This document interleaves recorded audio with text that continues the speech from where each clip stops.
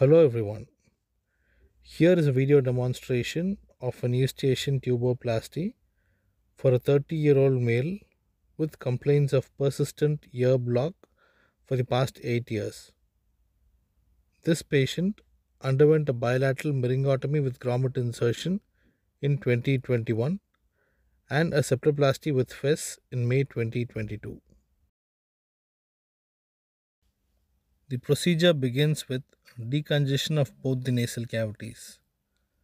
Post decongestion, you can see clear middle meatal cavities and eustachian tube orifices on both sides. The ear examination showed an intact dull tympanic membrane on both sides.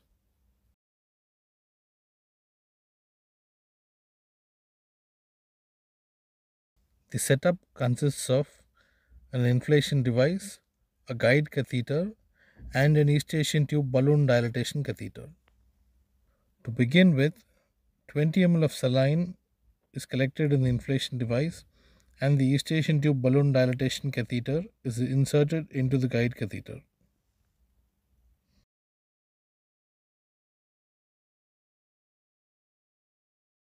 Dilatation catheter is connected to the inflation device and the catheter is pushed inside till the black mark.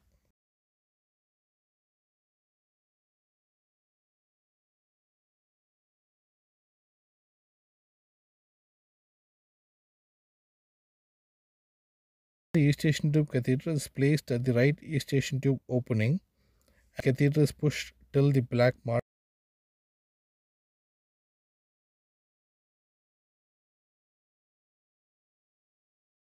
And the timer is set for 2 minutes. The pressure in the inflation device is raised to 8 atmospheric pressure units. After a period of 2 minutes, the pressure is reduced to 0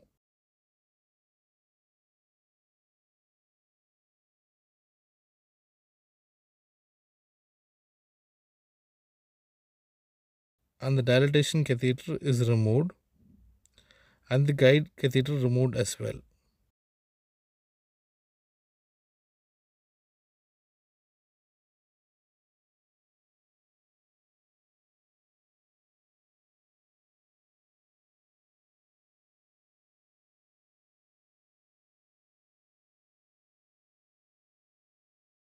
Post procedure, the patient is advised Valsalva maneuver, steroid nasal wash, and oral steroids for a week to reduce post procedure inflammation and edema.